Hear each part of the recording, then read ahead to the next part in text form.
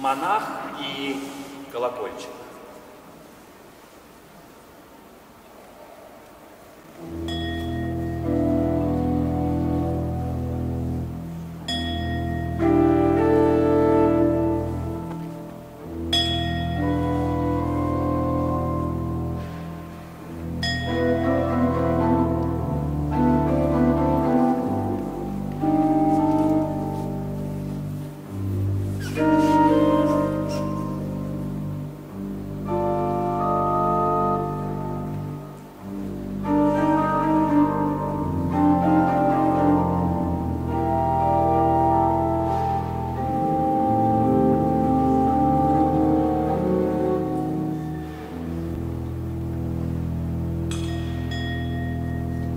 Некогда жил да был монах, и жил он в маленьком городке у моря.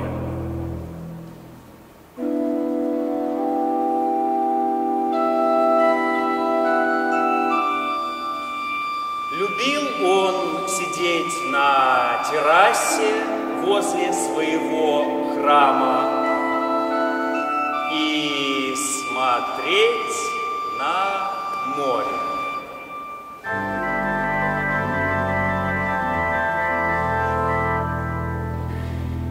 С крыши свешивался серебряный колокольчик, и монах не чувствовал себя одиноким.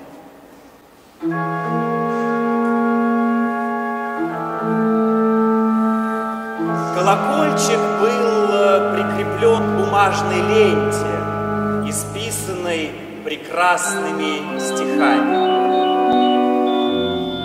Как только поднимался даже слабый ветерок, а с моря обычно был сильный ветер, бумага развивалась, и колокольчик звучал подобно вспышкам серебристого лунного света.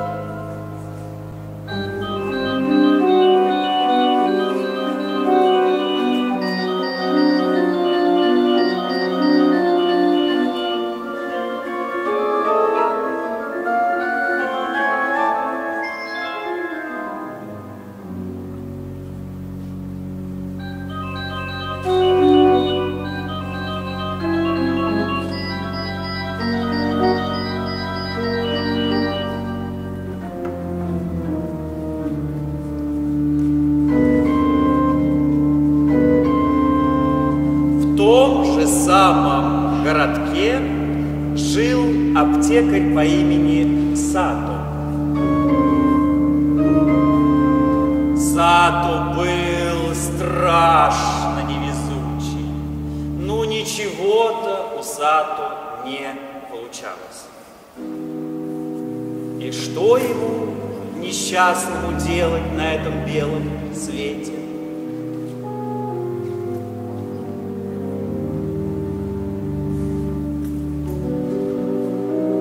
Отчаянии он подался к нашему монаху за советом.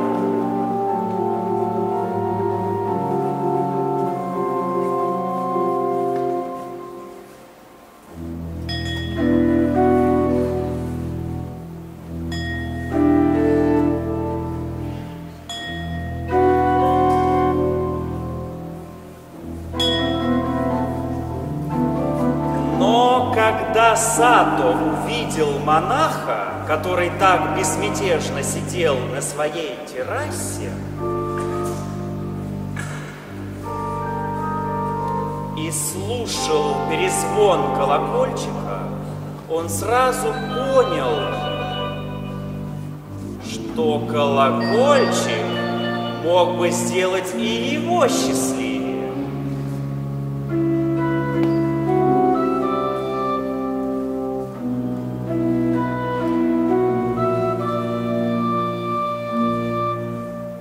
Сату попросил монаха дать ему колокольчик на один день. Всего на один день. Почему бы и нет, сказал монах. Но помни, ты должен обязательно вернуть его на следующее же утро. Аптека поблагодарил монах, пришел домой. И повесил колокольчик на своей террасе.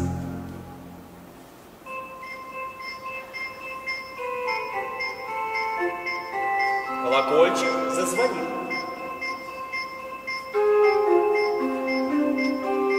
И на душе у Сато стало легко.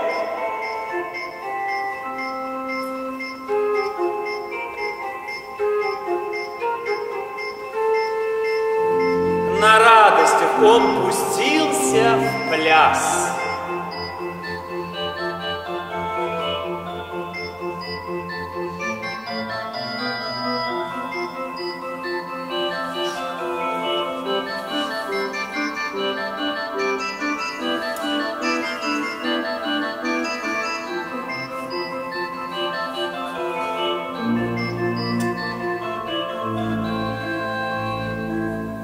На следующее утро монах был хмур и подавлен.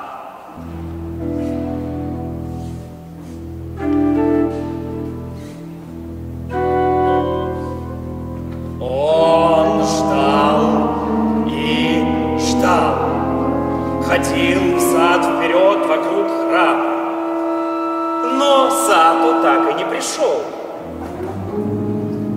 Тогда монах призвал своего послушника Тору и приказал ему Скорей беги в город к аптекарю и напомни ему, что я в нетерпении жду свой колокольчик. Тору изо всех сил побежал к аптекарю.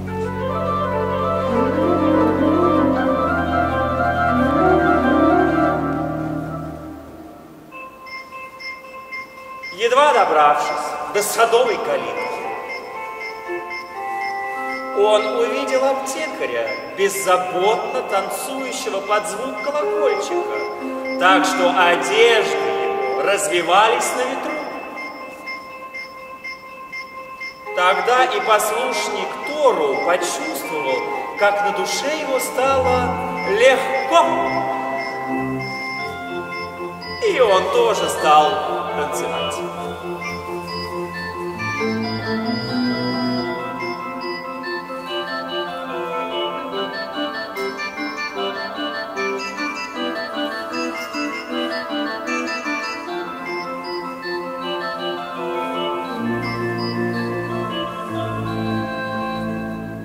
Прошел час, потом другой.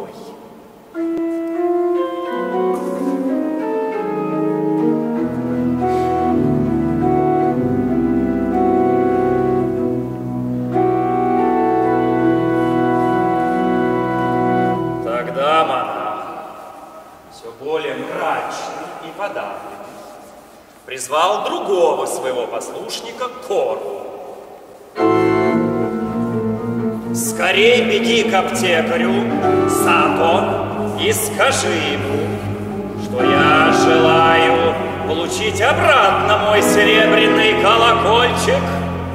Икона побежала. Так быстро, как только мог.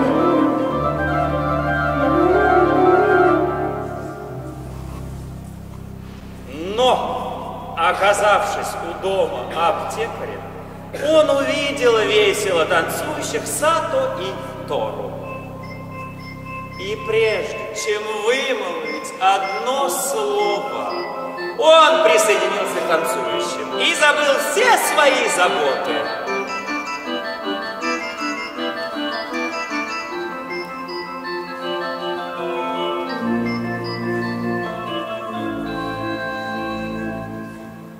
Прошел час потом другой.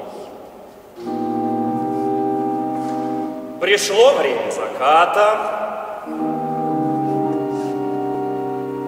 и монах все еще напрасно ждал. Он обул сандалии и сам пустился в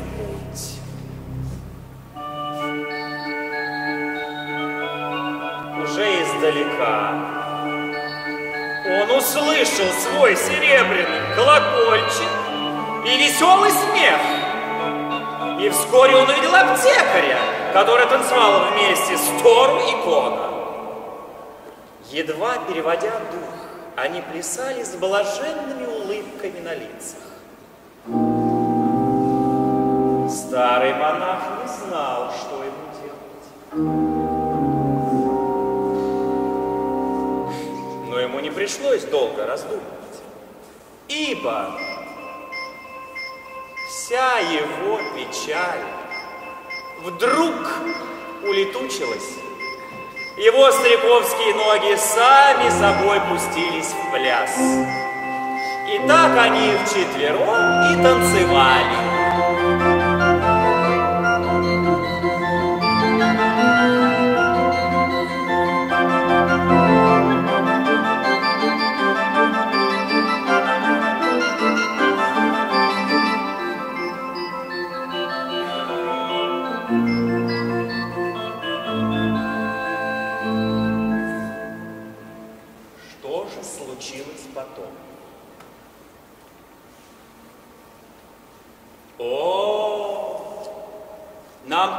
Кого-то отправить к дому аптекаря, чтобы это выяснить.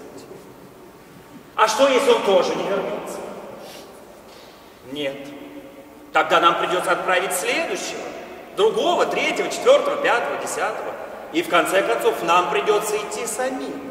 И мы тоже станем танцевать. В этом, разумеется, нет ничего хорошего. Потому что не должны танцевать все подряд. Так что не будем тревожиться и отправлять посыльного. Вместо этого пойдемте-ка лучше спать.